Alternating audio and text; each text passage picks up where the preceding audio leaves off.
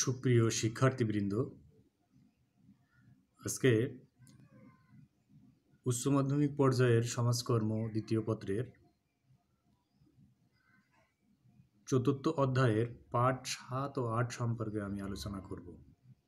আমাদের আজকের আলোচনার শিরোনাম হচ্ছে কনসেপ্ট অব রিলিজিয়ান বা ধর্মের ধারণা। ধর্ম নিঃসন্দেহে একটি সামাজিক প্রতিষ্ঠান। তবে সামাজিক প্রতিষ্ঠান হিসেবে পৃথিবী ব্যাপী, বিস্তৃত ও এর পরিসর ও বিস্তার ব্যাপক। পৃথিবীর জন্মলগ্ন থেকে এমন কোনো সময় ছিল না যেখানে যে কোনো মানব সত্তার মধ্যে ধর্মের অস্তিত্ব বিরাজমান ছিল না। পৃথিবীর সকল প্রান্তেই মানুষের সকল কালচারের মধ্যে ধর্মের অস্তিত্ব বিদ্যমান ছিল। স্বাভাবিক অর্থে ধর্ম হচ্ছে ঐশ্বরিক বিষয়ের প্রতি বিশ্বাস ও আস্থা অর্জন করা বা ধারণ করা। মানব সমাজের সাথে ধর্মের সম্পর্ক অত্যন্ত নিবিড়। এটি একটি প্রাচীন প্রতিষ্ঠান বা সংগঠন। সংস্কৃত ধৃ ধাতু থেকে ধর্মীয় শব্দের উৎপত্তি। ধৃ শব্দের অর্থ হচ্ছে ধারণ করা। আর ধর্মের ইংরেজি প্রতিশব্দ হচ্ছে রিলিজিয়ান যেটি ল্যাটিন শব্দ রিলিজিয়ার থেকে এসেছে, যার অর্থ হচ্ছে বন্ধন। সব কিছু মিলে ধর্মের আবিধানিক অর্থ হচ্ছে এমন কিছু ধারণ করা যা ধারণকৃত বিষয়ের সাথে একটি বন্ধন স্থাপিত হয়। এবং এই বন্ধনটি দীর্ঘমেয়াদী একটি বন্ধন। এটি মানব সত্তার মধ্যে বিরাজমান এমন একটি বন্ধন যা জন্ম থেকে মৃত্যুর পরবর্তী সময় পর্যন্ত এই বন্ধন অটুট থাকে। বিভিন্ন সমাজবিজ্ঞানী বিভিন্নভাবে ধর্মের সংজ্ঞা প্রদান করার চেষ্টা করেছেন। এর মধ্যে একজন ইংরেজ নৃবিজ্ঞানী স্যার এডওয়ার্ড বার্নেট টেইলর তার প্রিমিটিভ কালচার গ্রন্থে ধর্মের একটি সংজ্ঞা প্রদান করেছেন তিনি। তেনার সংজ্ঞাটি হচ্ছে এমন যে ধর্ম হলো অতি প্রাগিত শক্তিতে বিশ্বাস। আবার টমাস মুর একজন নৃবিজ্ঞানী, তিনি ধর্মকে এভাবে সংজ্ঞায়িত করেছেন যে ধর্মের মূল কথাই হচ্ছে মানুষ হিসেবে মানুষের সেবা করা। যাই হোক নৃবিজ্ঞানী স্যার অ্যাডওয়ার্ড বার্নেট টেইলর তার প্রিমেটিভ কালচার গ্রন্থে ধর্মের যে সংজ্ঞা প্রদান করেছেন, তিনি বলেছেন যে ধর্ম হলো অতি প্রাকৃত শক্তিতে বিশ্বাস। এই বিষয়টির সাথে একটি ঐশ্বরিক শক্তির যোগসূত্র আমরা দেখতে পাই। কারণ হচ্ছে ধর্ম হচ্ছে সেই ঐশ্বরিক বাণী যা যুগে যুগে মহামানবের মাধ্যমে পৃথিবীতে প্রসারিত ও প্রেরিত হয়েছে। কাজেই ধর্মের উচ্চারণ ধর্মের সংজ্ঞা, ধর্মের ধারণা, ধর্মের আলোচনা করতে হলেই ধর্মের সাথে যে ঐশ্বরিক বিশ্বাস, ঐশ্বরিক নির্দেশনা, ঐশ্বরিক আদেশ এর একটি যোগসূত্র স্পষ্ট হয়ে ওঠে। কাজেই ধর্ম শুধু অতি প্রাকৃত শক্তিতে বিশ্বাস নয়, ধর্ম হচ্ছে সেই ঐশ্বরিক শক্তিতে বিশ্বাস যে শক্তির বলে বলিয়ান হয়ে মানুষ দীর্ঘদিন জন্ম থেকে মৃত্যু পর্যন্ত এই বিষয়টি নিবিড়ভাবে সম্পর্ক স্থাপন করে জীবন আচরণ চালাতে থাকে। ধর্মের বিস্তারিত সংজ্ঞা প্রদান করতে গিয়ে রড র্যাগলান তার আর্জিন অফ রিলিজিয়ান গ্রন্থে বলেন যে অতি প্রাকৃত শক্তিকে কেন্দ্র করে যেসব বিশ্বাস ও ক্রিয়াকাণ্ডের উদ্ভব হয়েছে, সেই সব কিছুর সমষ্টি মানুষের ধর্ম। আসলে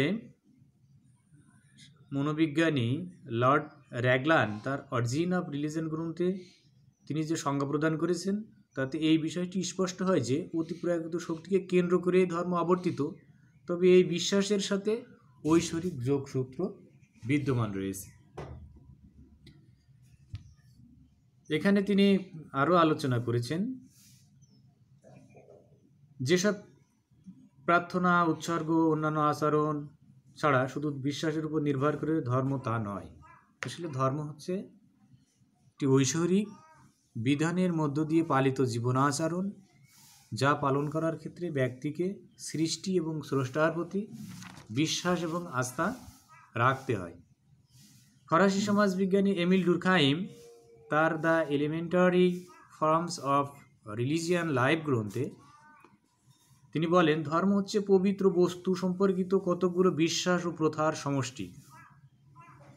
এমিল ডুরখাইম তার সংজ্ঞাটি বিশ্লেষণ করলে যে বিষয়টি স্পষ্ট হয়ে ওঠে, সেটি হচ্ছে যে ধর্ম হলো পবিত্র বস্তু সম্পর্কিত কতগুলো বিশ্বাস ও প্রথার সমষ্টি, যার মধ্য থেকে মানুষ তার জীবন আচরণ নিয়ন্ত্রণ করে, পরিচালনা করে এবং সুদীর্ঘ জীবন ব্যবস্থার ক্ষেত্রে সেটি প্রয়োগ করার প্রচেষ্টা চালায়। আরও সংক্ষেপে বলা যায়, ধর্ম হচ্ছে অতি সত্য। অদৃশ্যের প্রতি এমন একটি বিশ্বাস, যে বিশ্বাসের পরে ভিত্তি করে মানুষ তার জীবন আচরণ পরিচালনা করে, নিয়ন্ত্রণ করে, পরিচালিত করে এবং সেই বিশ্বাসেই সে জন্মগ্রহণ করে এবং সেই বিশ্বাসের মধ্য দিয়ে সে মৃত্যুবরণ করে। মোট কথা হচ্ছে, ধর্ম ধর্ম হচ্ছে জীবনব্যাপী এমন একটি বিশ্বাসের নাম, যে বিশ্বাস মানুষের আত্মা এবং হৃদয়কে স্রষ্টার প্রতি ভালোবাসার নিদর্শন হিসাবে, একটি যোগসূত্র উপস্থাপন করার প্রচেষ্টা চালায়।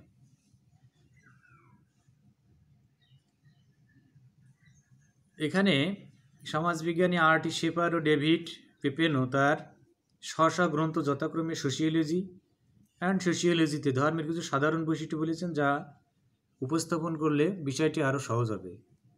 তিনি ধর্মের সাধারণ বৈশিষ্ট্যের ভিতরে বলছেন যে, ধর্মের প্রতীক থাকবে, বিশ্বাস থাকবে, পবিত্র সত্তা হিসাবে এটা গ্রহণ করতে হবে, অভিজ্ঞতা থাকবে, সংগঠন থাকবে এবং আচার অনুষ্ঠানও থাকবে। এগুলো হচ্ছে ধর্মের সাধারণ বৈশিষ্ট্য।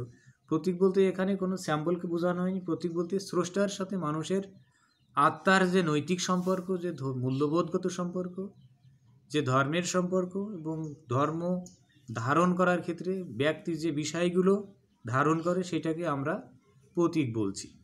বিশ্বাস, ধর্মের মূল বিশ্বাস হচ্ছে স্রষ্টার প্রতি বিশ্বাস, সৃষ্টির প্রতি বিশ্বাস এবং স্রষ্টার প্রতি আজন্ম এই বিশ্বাসই হচ্ছে ধর্মের প্রতি বিশ্বাস। পবিত্র সত্তা বলতে এখানে বোঝানো হচ্ছে ধর্ম বিষয়টি হচ্ছে পবিত্র একটি সত্তা। যেখানে অপবিত্রতার কোনো স্থান নেই। ধর্মের সার্বিক আচরণ শুদ্ধ, সহজ, সরল এবং পবিত্র সত্তা হিসেবে গণ্য হয় এবং আচার অনুষ্ঠান। ধর্মকে কেন্দ্র করেই বিশ্বব্যাপী আচার অনুষ্ঠান সংগঠিত হয়েছে বা গঠিত হয়েছে। এখানে একটা প্রশ্ন আসতে পারে অনেকের মতে যে ধর্ম হচ্ছে religion is a part of culture আসলে বিষয়টি এরকম নয়। বরঞ্চ ধর্মের অংশ, সংস্কৃতির অংশ ধর্ম নয়। ধর্মের অংশ হচ্ছে সংস্কৃতি। কারণ হচ্ছে ধর্মের মধ্য হতেই সংস্কৃতির উদ্ভাবিত হয়েছে বা উদ্ভব হয়েছে।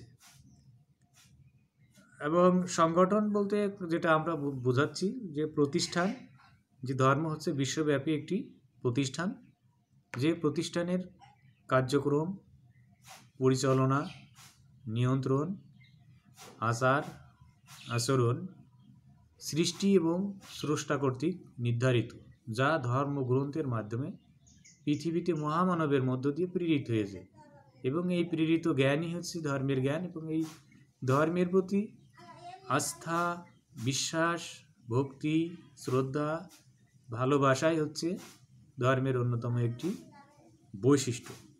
সুতরাং এই সংক্ষিপ্ত আলোচনার মধ্য দিয়ে আমরা একটি বিষয়ে উপনীত হতে পারি যে ধর্ম হচ্ছে অতি প্রাকৃত শক্তির উপরে বিশ্বাস, যে শক্তির উৎস হচ্ছে স্রষ্টা এবং যে শক্তির মাধ্যম হচ্ছে মহামানব, যা সরাসরি স্রষ্টার মাধ্যমে পৃথিবীতে প্রেরিত হয়েছে।